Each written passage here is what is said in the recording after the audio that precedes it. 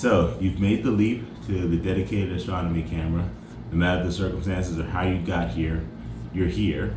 And so now you've got one. I've got this uh, QHY 163C uh, camera that I've been using here recently, as well as my replacement ZWO 183 MC Pro camera that I'm going to go through the process to get it ready for your astrophotography session. And so what this journey is about is a sensor analysis. So I've got a few tips and tricks that I'm going to show you based on this QHY camera on how to get through that sensor analysis and complete it without it airing out. And then two, using this ZWO, which is my replacement, we're going to go through the complete assessment as well. We're going to talk about offset. We're going to talk about how to calculate your unity gain. Uh, and we're going to talk about how to calculate any other settings that you would like based on using Excel. Get ready. This is going to be pretty technical, but I think you'll like it.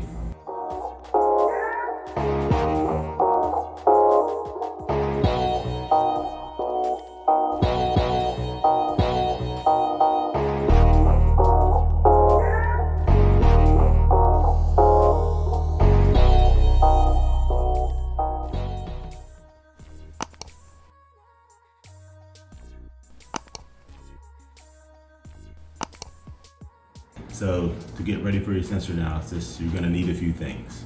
One, you need a light source. You could use an iPad, uh, for example. Um, I bought this um, sketch board from Amazon for less than $20. So I can turn this on and I can vary the brightness by holding this button. So I want this to be as dim as possible. I also use this for my flats uh, when I'm doing my astrophotography sessions. But this is my light source, so you're gonna need that. And then you're gonna need a handful of blank sheets of paper. Doesn't matter the size, just as long as it covers your sensor. Uh, because you gotta get to a low enough light level for a SharpCap to do its work for the sensor analysis. So make sure you have those. Uh, some people use a, a white sheet or um, that you can fold a few times so you get to that right brightness and uh, level. Okay, but I use paper, it works great as long as it's blank you're going to get an even uh, view of the light uh, all across the sensor for the analysis. You're also going to need uh, power and USB for the camera. You can connect it to your laptop and you can cool it down, especially if you're inside. You still want to cool it down to about zero at least uh, to do this session. Has no real advantages, but to keep your camera from overheating for no reason, it's a good idea. Just go ahead and let it cool. So great, let's open this up.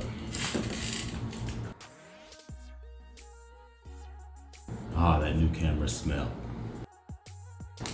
So if you've not seen a ZWO camera before, it comes in a lovely little case. We'll pull that out. And it's got a, a, a bunch of different accessories in here, um, adapters that you can use for your different uh, setups. Spacers as well, if you, if you need them for back focus. Um, USB 2 and USB 3 cables for the camera. ZWO here. Just a few more spacers for getting your back, space, back spacing correct. Uh, and this is this is actually a nice little uh, gift. Uh, it's a 1.25 inch uh, filter holder, so that's a good addition. You don't have to buy a two inch filter for that size camera sensor. And of course it comes with a quick guide. All right, quick unboxing. So as you get your camera out of the bag and out of the box, um, really simple setup. You're just gonna plug it in. You're gonna leave the cap on and then we're gonna follow the directions on SharpCap. That's it.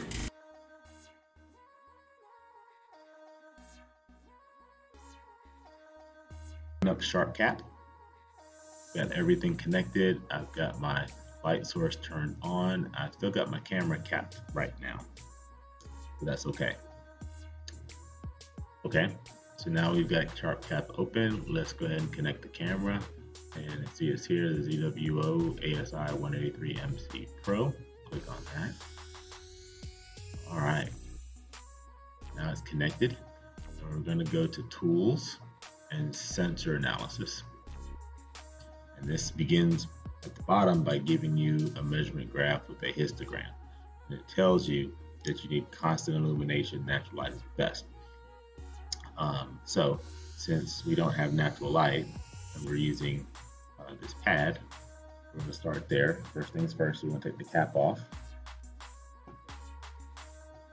All right, now that's telling you you got way too much light because that bar of histogram was here to the left, now it's over here to the right. Okay, let's turn my gain down to zero. Now, I have this as low as I can get it. I'm raising it up. This that I'm talking about is my light source. So got as low as I can get it. Um, I need to change my color space to raw 16. That's what the camera uses. Okay. And so I've got these capture areas, very large capture areas. Right now it's set to the highest one possible. Okay. All right, so good. Let's go ahead and take, because we want this histogram to come down to about 60%. And this will tell us that, so let's hit start so it can tell us that. All right, so we're gonna select an area of the image with uniform brightness, adjust the illumination to get a peak at about 65% with exposures anywhere between 0.26 seconds and two seconds. You got a nice large range there. And so right now, it's running, it's at 0.23 uh, seconds or 234 milliseconds. So let's get that histogram down. So I've got two sheets of paper. I'm going to put it right underneath. Start.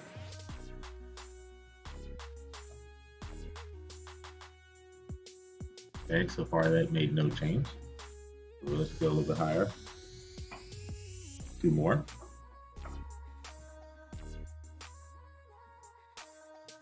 Okay, so now it's down, came down. The exposure time is still 234. So we need to get that a little bit higher. So let's try one more sheet of paper.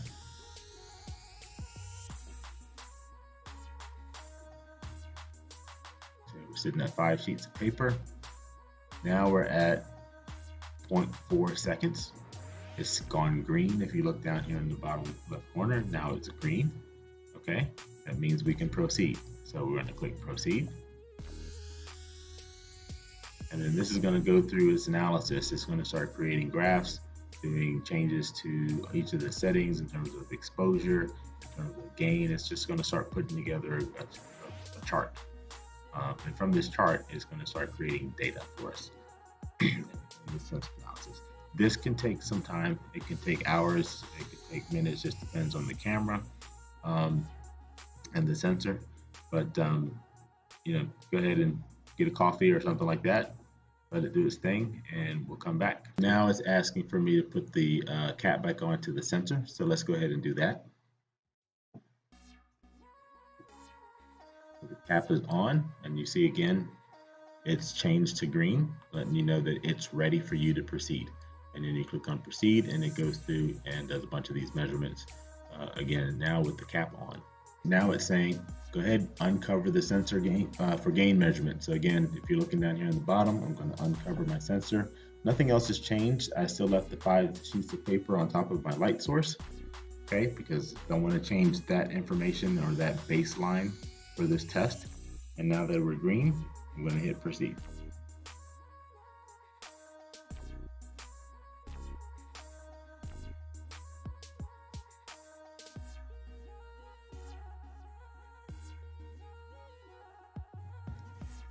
Okay, so I've now switched to the QHY 163 um, CCD camera that I have. So between the CMOS camera of the ZWO and the CCD camera of the QHY, there are some differences that I want to go over. So before I get back into offset, um, that's one of the differences uh, you'll see here. If you look at this uh, on the right with SharpCap, um, it's got an offset bar slider that you can adjust this offset bar is or slider is not available with the CCD camera. Uh, I'm sorry, the CMOS camera of the ZWO. So I'm not sure why that is with SharpCap. Some more investigation needed for that. but I, I, wanted to, to be able to go through that offset discussion with you. So I'm going to take a step back first um, and, and talk about uh, a few of the tips and tricks to make sure you get all the way through your sensor analysis. So I had struggles with this particular camera to get all the way through the sensor analysis. And what the sensor analysis kept asking me to do was to adjust the capture area so that it can measure, do the measurements accordingly. All right. So as I kept making the adjustments of that I thought I needed to make, I was not getting anywhere. It kept crashing on me. Okay. So right now I've got the cap on. Um, all right, so cap is off. It's doing its thing. It's got, it's not set to the raw 16. It needs to be raw 16. All right, so it's going through the, the, the, process and it's trying to get it straight, trying to get it straight for this this analysis. Now, it would stop, it would crash, it would get somewhere, it would just tell me, hey, something's not right. Need you to change the capture area. And a lot, so it starts off with shrink, shrink, shrink, make it smaller. So if you go over here to the capture area, this is where you can change the size of it. And so what I did in order to get it to go all the way through the process without crashing is I would come down one step at a time. All right, I changed the capture area, changed the capture area, changed the capture area until eventually I think it got somewhere down in this neighborhood. And then once it got down into that neighborhood, uh, it said, oh, it's too small. I need it to be bigger. Okay. And so in order to make it bigger, see if this shows up for me right? Because you know intuitively, if I go make this capture area bigger, it's just going to crash again, right? I've already seen that. So, so why am I going through this whole process again of making the thing bigger? All right, why do I want to do that? So uh, that's not what it's asking you to do. So there is on the screen, there it is, this box. All right. And so when it tells you after you've gone through and you shrunk it and you shrunk it and you shrunk it, and then it comes back and it says, okay, I need you to make it bigger. What it's asking you to do is to go in and change this capture area here now to something a little bit bigger. And so you do that until this goes green, boom, and then you're done. Now you've dialed it in and it will go through the entire process for your camera. So if you got, like me, if you had that issue where the QHY163 would not go through the entire sensor analysis, it would keep crashing, it would keep airing out, that's what's happening is it's asking for you to get to the right size um, surface area that it's looking at that has even illumination all the way around it. And um, and even what it says here it's got 100 pixels on each side right? That's what it's asking you to do. Um, that's a little bit difficult to just predict what it's going to be off the bat. For me it was a little bit of a struggle trying to get to that point and so that's why i'm suggesting if you run into those same issues with your camera you just want to keep changing the capture area down one by one by one until you get to the point where it then says, oh, I need you to make it bigger. And of course, you don't want to make it bigger here. You want to make it bigger in the, one of these boxes. You could even move this box anywhere you want, okay, on the on the screen. All right, and once you've done that and it goes green, then it should be able to go all the way through the process, complete your analysis, capture your data, put it in your Excel spreadsheet, and do the things you need to do with it. Okay. All right. Good. So that being said, um, let's talk about offset. So I'm going to put the cap, the cap back onto the camera. And I think you can do this with more than sharp, SharpCap. So if your the ZWO camera um, has the offset capability uh, that you can deal with in other tools uh, like uh, Astro Photography Tool, which I haven't done. So I'll try that here later. Um, then you can go through this process. But since I've got this now, I'm going to go through the process with this camera. And I'm just going to make the capture area as big as possible again. And so what the histogram is showing you are three different, uh, three different histograms. So before actually, you've got the mean of all three of your colors, red, green, and blue. Okay. So I'm looking at the mean. That's going to be the white bar, the white histogram on, on the left here. Okay. And so at zero gain, if my gain is zero, right, I want that histogram to sort of come off of the end. Okay, so let's try, let's try 10. And you can see over here to the right, it came off of the edge um, appropriately. And so from a offset standpoint, eight, move the histogram over. So the mean histogram is over, it's completely showing uh, no tails or anything like that cut off by uh, on the left right? So that's clipping. So you don't want any clipping. You got all of your data right where you want it to be uh, in that histogram. So let's just change the gain. So again, uh, if you go back to, let me do this real quick. Okay, so here's my QHY file um, that I created. And in here, I've got the offsets. Okay, and I've, I've just gone through the process at each of these different gain values and look to see where my histogram, the average, was not being clipped. Okay, so as long as the average is not being clipped, that was the minimum offset, not maximum, but minimum offset that I would choose for each of these different gain values. Okay, so let's go back to SharpCap. Okay, and let's choose a higher gain. So I'm going to choose a gain. I'm sorry, not gain. Yeah, higher gain. All right, now I've got a higher gain. I want to move that as well. So again, it's very hard to see on this particular graph, um, but you want to make sure that that average is as far over as possible. Okay, not clipping on the left. And you can you can look at your numbers here as well and try to see whatever method you want to use to determine whether that's true for you. Um, that's what you would do. So um, yeah, so as and and all that's all I've done for each one of these. I've just changed the offset. I changed the gain, changed the offset.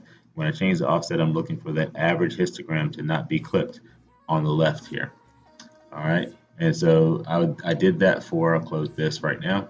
So I did that for every gain value I have here, which includes my unity gain, which I didn't know was 136 at the time, um, to show it as 13. So I've got my offsets all labeled out. Now, the higher the gain is, the more forgiving the offset numbers are. So there's a larger range of offsets you can choose from uh, for, uh, let's say, the 350 gain value. If you wanted to do a 350 gain, I'm doing 41, but as I kept on changing the offset number, the the histogram uh, didn't change a lot. So there's a lot of range between uh, 40 and probably 70 that I could use as offset. So it becomes um, less of a factor the higher the gain. You don't need a whole lot of offset to deal with. Not that I am going to be going at such uh, dim targets that I require a 500 gain value, but just as a, a piece of information for you, um, you can actually go through and, and set these offsets using the histogram and just making sure that you're not clipping any data. Whatever that minimum number is, is what you can start with. You can always go higher. You can move the Insta- histogram anywhere you want. I keep trying to say Instagram. Okay, so that's offset, uh, or at least how to start trying to look at capture offset. Like I said, I will work on a video for explaining gain and offset and how to use them with your camera because that's important. In the meantime, of course, there's a lot of uh, optional um, videos on YouTube that show you and explain gain and offset. So um, till then, thank you for joining. Thank you for watching. Hopefully, this helps you. And remember, the sky is always the limit when your mind is unwilling to fly. So go beyond. Thanks again. Kevin Francis, astrophotographer.